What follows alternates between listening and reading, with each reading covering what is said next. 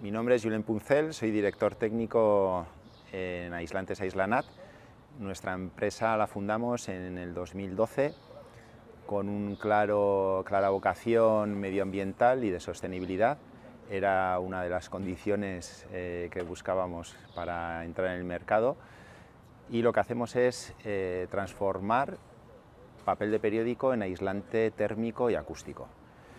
Nosotros lo que hacemos desde Islanat es eh, recoger el papel de periódico de las cabeceras locales, siempre de las cabeceras locales, para transformarlo mediante un eh, tratamiento de desfibración en un aislamiento de altas prestaciones, el cual luego se va a instalar en las viviendas, tanto en obra nueva como en rehabilitación, y vamos a evitar el exceso de consumo de energía.